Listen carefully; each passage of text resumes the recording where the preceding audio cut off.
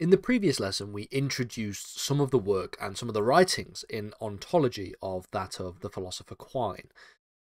Now, what we're going to do in this lesson is actually start to unpack his writings in more detail, talking about this idea and the proposition that we're going to be discussing of non existent objects and the ways in which you can have an ontological commitment to a non existent object. And it's quite interesting because one of the things that you have to think about when you're doing ontology is trying to work out ultimately what you're committed to, uh, as an ont- uh, ontologically committed to i.e., what you believe to exist. And when we look at things like non existent objects, you will see why this is such an interesting philosophical problem, um, and one that Quine um, likes to, uh, to, to, to talk about it quite a lot in his considerations. Specifically, in the question of what there is, and his paper, What There Is, um, he discusses whether or not non existent objects exist.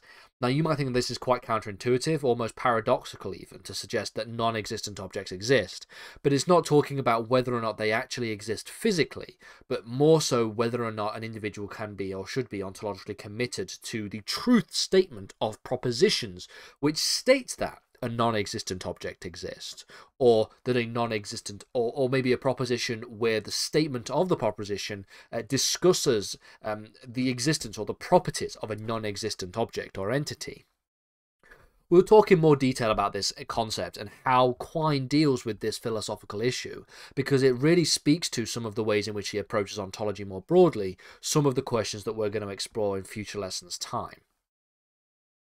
So let's begin then. Non existent objects. What do I mean by non existent objects? Well, when Quine wrote his paper on what there is, he talks about one of the most co- common ontological viewpoints. That is the view that non existent entities can exist. Okay. Um, he does so uh, and looks at the following Platonic thought experiment an argument relating to the existence of non existent entities. He asks us to consider propositions like the following so, what about this following proposition here? The proposition Santa does not exist. Okay, the statement in its entirety. Now, unfortunately, um, for those of you who are big fans of Christmas, um, Santa does not exist. This is a true proposition. Okay, but then if it is true, and we can suggest that it is true because uh, if you're an adult uh, or, or, if you're not if you uh, for those of you who thought it was um, false um, I'm sorry, but it is true. Um, if it is true, then at the very least, it must be a proposition which has meaning. It must be a meaningful proposition, because no proposition which is true cannot be can be meaningless. You can't have a meaningless true proposition according to general basic understandings of philosophy of language. And so, as a result of which, if it is true, then it is meaningful, at the very least meaningful. If it is meaningful, if the proposition is meaningful, then it must be the case that each part of the sentence itself has meaning. So, not only is the proposition in its entirety something that has meaning, but the component parts of the proposition must also have meaning. So, Santa does not exist. Each of those individual component parts must have their own individual meaning in order for the proposition as a whole to have its meaning in general. Because this speaks to the argument that you can't derive meaning in a sentence from meaningless uh, contributions to the sentence. So, if everything in the sentence is meaningless, then you can't all of a sudden make meaning from that proposition. Um, that is a debated, obviously, in philosophy. Don't forget that this is metaphysics, so all of it is debatable. Um, but it is interesting how that is how um, essentially we, we, we kind of think about uh, meaningful statements and, and how statements have potential meaning. Now, if that is the case, therefore, that the proposition is meaningful and it must be meaningful in the case that each part of the sentence has meaning in and of itself, then it suggests that the word Santa in the sentence means something. It has some kind of meaning.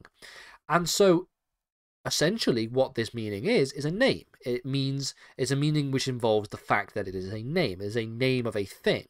Um, because it is a name, it names a thing. The thing okay, is Santa. Okay, that thing is Santa itself. Now, the question here, therefore, is that by accepting the proposition Santa does not exist, we are ontologically committed to the idea that things do not exist, that things that do not exist, sorry, do exist. Okay? Because if we say that something has meaning, And the thing that we're naming here is the, the, the, name of Santa, and we are naming something. That something is Santa. And so, um, how can we say that it does not exist if we can name it and then the name of that thing has some kind of meaning? And so, we are ontologically committed to the idea that things that don't exist exist. Um, seems quite paradoxical. Um, uh, how can something which does not exist actually exist? We know that it doesn't exist, but we seem to have to be somehow ontologically committed to its existence. Well, what Quine does is attempt to bring an answer to this by looking at a number of possibilities. Okay, how can we get around this paradox? What ways can we resolve this paradox um, in a satisfying manner? Well, he outlines two positions a philosopher could take. Both appear to be at least prima facie convincing and reasonable. Uh, prima facie, for those of you who don't know Latin or don't care to ever want to learn Latin, uh, just means on its face. Okay, so um, often those of you who study law will will will come across language such as prima facie. Um, so both these propositions that a philosopher could take that Quine uh, proposes appear to be on their face convincing and reasonable. First one is that Santa is not a concrete object which exists in the concrete world but rather Santa is something of an idea that exists in everybody's minds. We have a sort of collective memory of what Santa is, and so it could be described as something of an abstract entity. So suggesting that Santa exists um, does not necessarily entail that we are saying that Santa is an actual character, an actual person that exists in the real concrete world. We could come to the conclusion instead that the existence, the ontological commitment to the, existence, is not ontologically committing us to a concrete object, but rather ontologically committing us to an idea in our minds. So um, Santa does not exist in the real world, but it seems I can have a, an, an idea of what Santa is, and that this is a consistent idea that is shared across everybody who understands the basic concept. Okay, a jolly man coming down a chimney putting presents under a tree. Now, Quine rejects this viewpoint that when you are talking about ontological commitments, you can be focusing on maybe concrete versus abstract entities.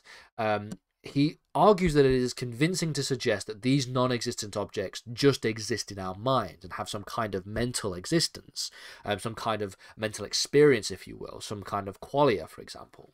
Um, this is because the whole argument for the existence of non existent entities is based on our acceptance of the proposition that Santa does not exist. And so, as a result of which, nobody is saying that the idea of Santa does not exist. This argument is therefore drawing our attention away from the real philosophical issue to discuss something which is not contentious. Okay, so the nobody is saying that the idea of Santa does not exist in this proposition. We're saying that Santa does not exist. We are almost um, intuition pumping a concrete entity into the sentence itself. Okay, um, and so the, therefore the response in the first proposition isn't very convincing. What about Quine's second response? Well, Quine suggests that um, that entities such as Santa are what he describes as, quote, unactualized possibility. It's just like any other entity that exists, but instead they lack the properties of actuality and existence. Okay, um, we will see in a second that Quine has an objection to this as well, but what we see here is that the entity itself we can have an ontological commitment to and that when we think about ontology and when we think about uh, whether or not something exists um, and what objects and entities do exist we are essentially ascribing to those entities the properties of actuality and existence. So just like something like my pencil has the property of um, of being straight for example it has a quite hard uh, uh, property it's orange in terms of the color. These these are properties that we can ascribe to a concrete object, okay? It has functional properties, so the function of a pencil, for example, is to write and to draw. But what Quine suggests here in this in this proposition, in this in this response, is that all of these concrete objects, this pencil that I'm holding in my hand, for example, doesn't just have these properties that we can ascribe simply, like things like color and and, and consistency and, uh, and and and rigidity and all these kinds of things, but it also has the property of actuality and the property of existence. So just like my pencil is orange, it has the property of orangeness. It also has the property of existence and the property of actuality. Okay, and Santa is an example that we can think of as an entity that we have um, ontological commitments to, uh, in terms of at least the proposition of its lack of existence, and we can have um, properties that we can ascribe to Santa in terms of being male, being a human, being um, somebody who goes down the, a tree at Christmas, being a Christmas character, but that we do not ascribe the property of actuality and existence to um, this individual.